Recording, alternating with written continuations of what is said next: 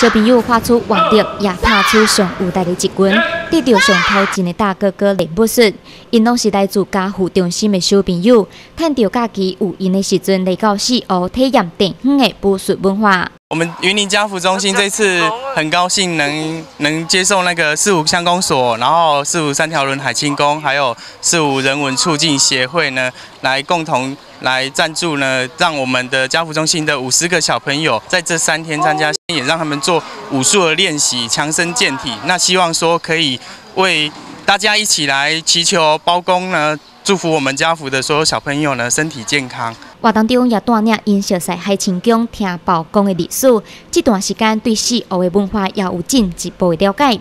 对小朋友来讲，这是全新的体验。这三天我学到了画画、和武术、和和表演、戏剧，让我觉得很开心快乐。你学到什么？呃，包括呃阎罗王阎罗王的那个打击犯罪的精神，然后武术、画画课之类等等的。活动中，拢看到有请家护中心背心的工作人员，因也拢是家护中心服务的对象。伫高小阶段，也拢有参加家护中心举办的活动。现在大汉路也等来带学弟妹传承家护的精神。很感谢，就是家福中心给我这个机会来带领这个营队。那里面不止小朋友有学到，那我也有学到很多东西。那以前其实我本身也是家福中心的学员。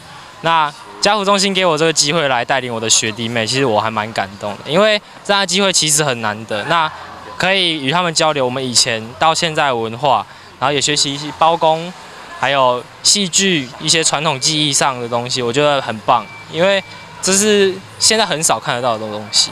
那小朋友也很配合，大家都玩得很开心。这样，家父中心的小朋友都是来自婚礼无共乡镇市，并不是每一个人都来过四湖，所以这摆机会对因来讲是非常珍贵。也感谢赞助单位爱心，带好小朋友一个快乐的。假期。记者郭良平采访报道。